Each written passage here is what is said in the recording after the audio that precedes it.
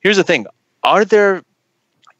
Can you come out as an atheist and and run for office? I know that there's, I think, one or two, a handful of congressmen mm-hmm. um, who are uh, openly agnostic, uh, but can you be an atheist and run for president? Can you be an atheist and run for the Senate? And and if not, what do we do about that? How do we actually get some traction, uh, just in terms of lobbying? I mean, it's a, I think what it's a quarter of the country, and, and especially most a third of millennials uh, don't identify with any religion in the United States. So, um, how do we get that kind of representation in the government?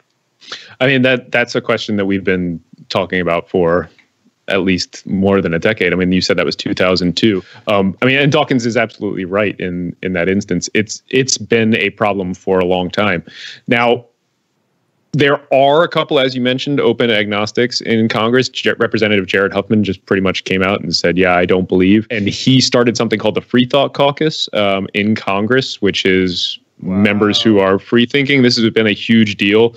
Um, that just was the end of April, so that's very new. There are now seven members, uh, grown wow. from three. Yeah, yeah. So it, I mean, it, it's not a requirement that you be non-religious to join it, but they they do they f- are fighting for an absolute separation of state and church, for uh, reason and science-based legislation, uh, to f- keep the secular character of our government. All these these really valuable goals, uh, and and to lower the stigma of having non-religious people in the public eye. And I mean, Secular Jihadists is an increasingly influential podcast with much of its growing audience in Muslim majority countries, advocating for atheists, secularists, and enlightenment thinkers. We want to reach out to more people.